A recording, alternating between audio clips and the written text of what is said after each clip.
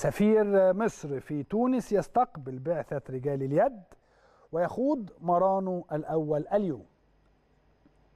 كالعادة سفراءنا في جميع الدول السفير إيهاب فهمي ورئيس البعثة المهندس خالد مرتجي وبقية اللاعبين طبعا كانوا متواجدين إن شاء الله آه، ويخوضوا مرانهم آه، الأول للمشاركة في البطولة أفريقيا للأندية. الأهلي أخيرا